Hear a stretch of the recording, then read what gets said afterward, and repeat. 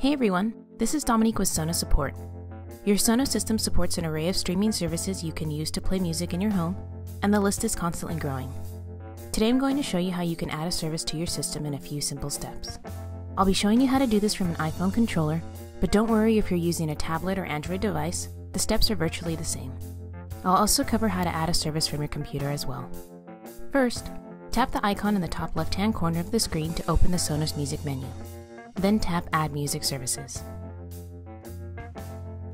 If you're using a Sonos controller on your computer, click the button on the right hand side labeled Add Music Services.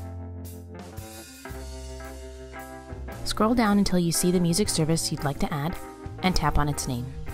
I'm going to demonstrate by adding my Pandora account to the Sonos system. Tap Add Account, then select I already have an account. Now enter the username and password you used when you signed up with the music service. Oftentimes, your username is the email address you used when you registered. Then enter your password and tap Next. Once your account is verified, you'll get a confirmation that says Setup's complete. Now, you'll give a nickname to the account you just added. If you add additional accounts from the same service to your system, you'll be able to distinguish between them by their nicknames. Select Done.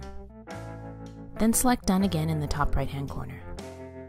If we navigate back to the Sonos Music menu, you can see that Pandora now appears in the list of music services.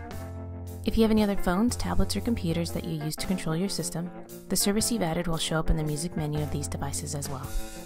You can easily add a second account for any music service by repeating the same steps we just walked through, and adding your username and password for the second account. Once it's added, you can toggle between the two accounts by tapping the nickname on the top of the screen.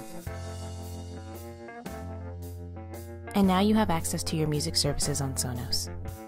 If you have any questions or need assistance, check out our website at support.sonos.com or see what the community has to say at sonos.com forward slash community.